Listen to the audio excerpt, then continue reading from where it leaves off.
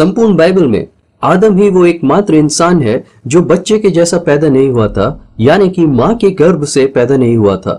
पर रुकिए, सिर्फ़ आदम ही नहीं, हवा भी बच्चे की तरह पैदा नहीं हुई थी, माँ के गर्भ से पैदा नहीं हुई थी। तो जब वो बनाए गए तो असल में उनकी उम्र क्या थी? उत्पत्ति उसके दूसरे अध्याय में हमें इस रचना की डिटेल को देखने को मिलता है, जब परमेश्वर ने आदम को गहरी नींद में सुलाकर हवा को रचा था। दूसरे अध्याय के सातवें वचन में लिखा है कि आदम को भूमि की मिट्टी से रचा गया और उसमें परमेश्वर ने अपनी श्वास को फूक दिया। और छठवें दिन ही आदम को गहरी नींद में सुलाकर परमेश्वर ने उसकी पसली को निकाला और उस पसली में से हवा को बनाया, जिसके विषय में हम उत्पत्ति उसके दूसरे अध्याय 21 और 22 में पढ़ते हैं।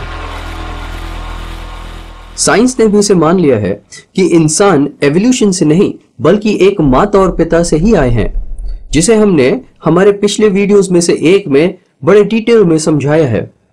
आदम और हवा को परमेश्वर ने नर और नारी करके कहा था, बुलाया था। असल में परमेश्वर नर और नारी को आदमी नाम से पुकारा करता था। आदम ने नारी को हवा का नाम दिया, परमेश्वर ने नहीं। आदम और हवा एक ही दिन बनाए गए थे और उनका शरीर एक ही उम्र के ढांचे का बनाया गया था। यानी कि वो दोनों की उम्र एक ही थी, परंतु जब वो बनाए गए थे तो इंसानी शरीर के मुताबिक उनकी उम्र क्या थी? क्योंकि वे तो बच्चों के जैसे पैदा नहीं हुए थे। बाइबल में ऐसी कड़ी हैं, जिसको हम जोड़कर, समझकर ये पता लगा सकते हैं कि उनकी सही उम्र क्या थी। बाइबल में सिर्फ़ तीन ही ऐसे लोग हैं जो सीधे पवित्र आत्मा के द्वारा बनाए गए। आदम, हवा और यीशु मसीह। यीशु मसीह ने जगत के लिए, यानी कि हमारे लिए, जन्म लिया था। योहन्ना उसके तीसरे अध्याय और सोलवे वचन में लिखा है कि परमेश्वर ने जगत से ऐसा प्रेम किया कि उसने अपना एक लौता पुत्र दे दिया ताकि जो कोई उस पर विश्वास करे, वो नाश न हो, परंतु अनंत जीवन को पाए। यहाँ पर परमेश्वर ने जो जगत के विषय में बात करी है, वो जगत और कोई नहीं, वो हम ही हैं। यानी कि इंसान। चूँकि इंसान ही है, जो परमेश्वर की हर एक प्लानिंग का केंद्र बिंदु रहे हैं, जब से पृथ्वी की नींव रखी गई, तब से।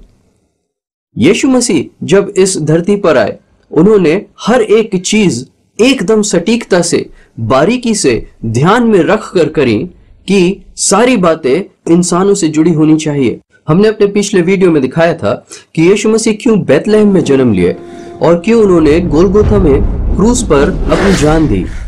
जब हम बाइबल को ध्यान से पढ़ते हैं तो हम बहुत ही महत्वपूर्ण बातें समझते हैं परमेश्वर के व्यक्तित्व के बारे में कि कैसे परमेश्वर हमसे जुड़ी हुई हर एक बारीक चीज़ को अपने वचनों में दर्शाते हैं। इसी रीति से हम समझ सकते हैं कि यीशु मसीह की मिनिस्ट्री भी कोई महत्व, यानी कि कुछ इंपॉर्टेंस ज़रूर छुपाए हुए होगी। पॉलुस ने पहले क्रंथियो, उसके पंद्रहवें अध्याय और पैतालीसवें वचन में बताया था कि यीशु मसीह ही दूसरे और आखिरी आदम हैं। आदम से जोड़कर पॉलुस ने बहुत गहन बातों को हमारे सामने खोलकर रख दिया है। आदम, जो परमेश्वर के वचन, यानी कि यीशु मसीह का सबसे पहला और सबसे प्यारी रचना थी।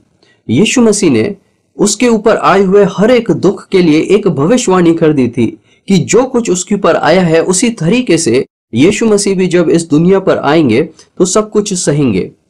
यीशु मसीह का आदम के साथ तुलना करना या कंपेयर करने के पीछे बड़ा कारण है।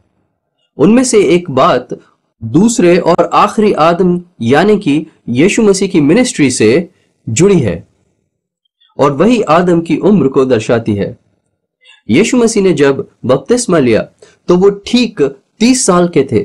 वो चाहते तो किसी भी उम्र में बपतिस्मा ले सकते थे 25 में 27 में 28 में, किसी भी उम्र में। परंतु उनका 30 की उम्र में बपतिस्मा लेने का मिनिस्ट्री चालू करने का एक तात्पर्य यह था कि वो दर्शाना चाहते थे कि आदम और हवा की जो लगभग उम्र थी, जब वो बनाए गए थे तो वो कितनी थी। इसलिए हम देखते हैं कि उत्पत्ति उसके दूसरे अध्याय और छठवें वचन में मिट्टी गीली हुई और फिर पुतला बनाया गया और उसमें आत्मा, जो कि पवित्र थी, उंडेली या डाली गई।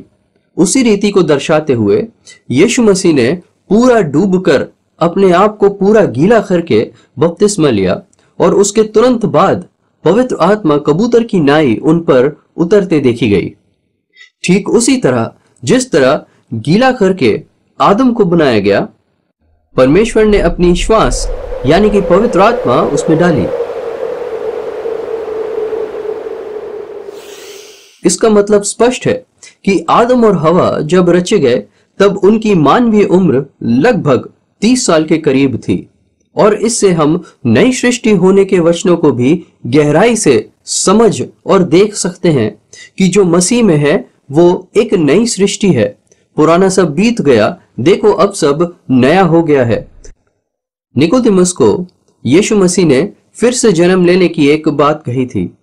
अगर हम गंभीरता से परमेश्वर के वचनों को पूरी तरह से अच्छे से समझकर बपतिस्मा लेते हैं तो परमेश्वर हमें उस आदम के जैसे बनाता है, जैसा कि वो पाप में गिरने के पहले था। अगर आपका बपतिस्मा नहीं हुआ है तो इसको गंभीरता से लें और परमेश्वर को अपने जीवन रूपी आत्मा को नया करने का मौका दें। और अगर आपका बपतिस्मा हो चुका है, जब तक आप जीवित हैं, पश्चाताप और प्रार्थना, आपको वो आग का बपतिस्मा देके नया बनाने में सक्षम है।